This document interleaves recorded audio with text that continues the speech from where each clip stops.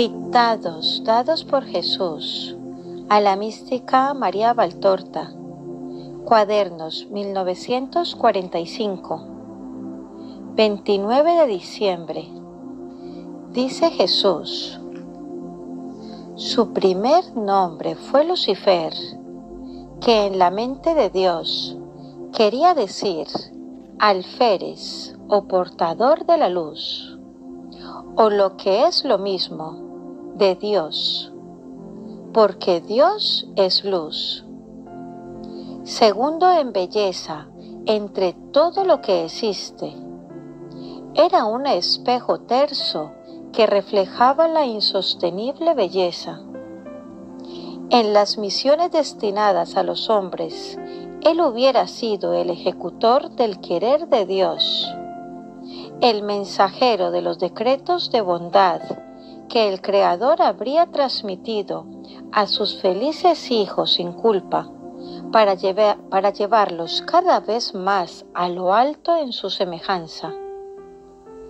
El portador de la luz, mediante los rayos de esta luz divina que portaba consigo, habría hablado a los hombres y éstos, al estar exentos de culpa, habrían comprendido esos destellos de armónicas palabras, impregnadas por completo de amor y de gozo.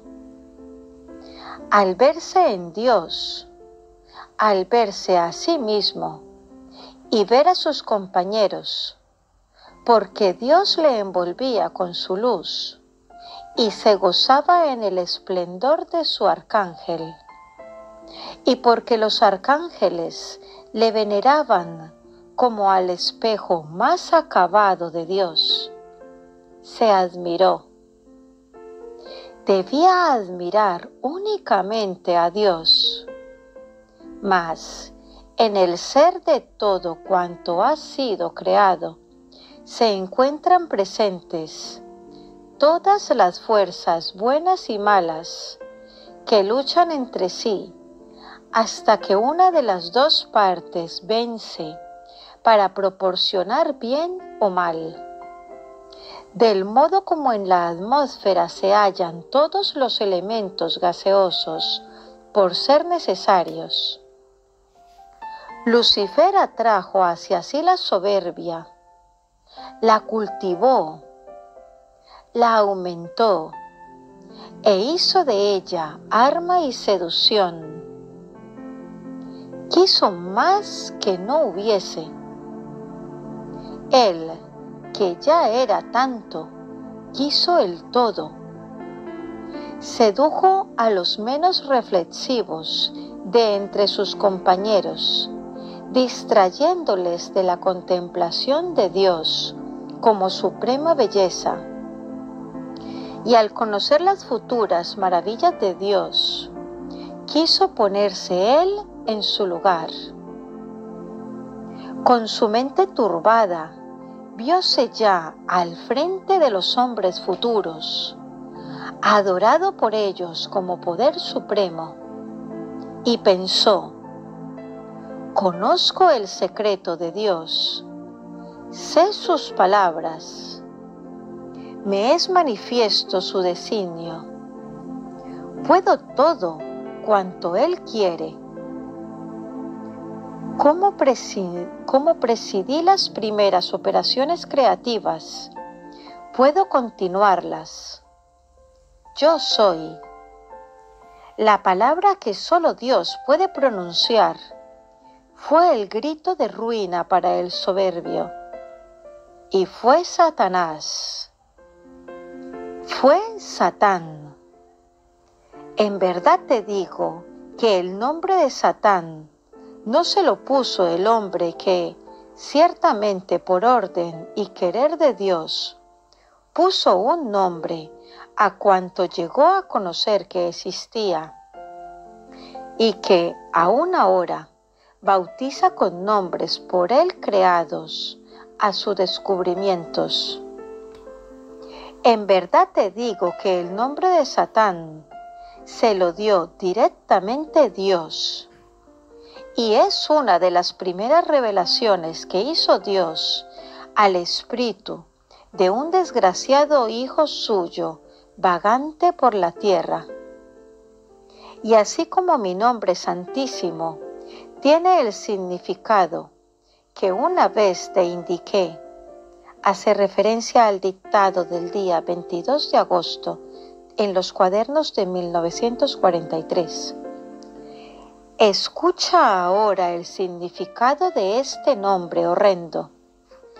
Escribe como te indico. En la letra S hace referencia a que es sacrilegio, soberbia. En la letra A, ateísmo, adverso. En la letra T, torpeza, tentador, traidor.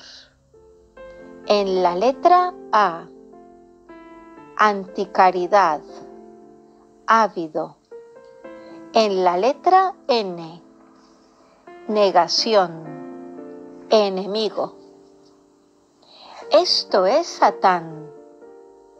Y estos son también los que están aquejados de satanismo y es además seducción, astucia, tiniebla, ligereza y perversidad.